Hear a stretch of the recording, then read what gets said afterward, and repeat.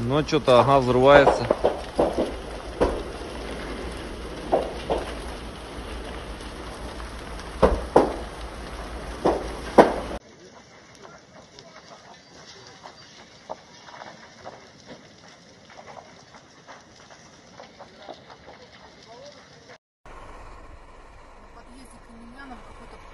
Огромный черный дым стоит и пахнет резиной. Посмотрите, как тянется э, от него след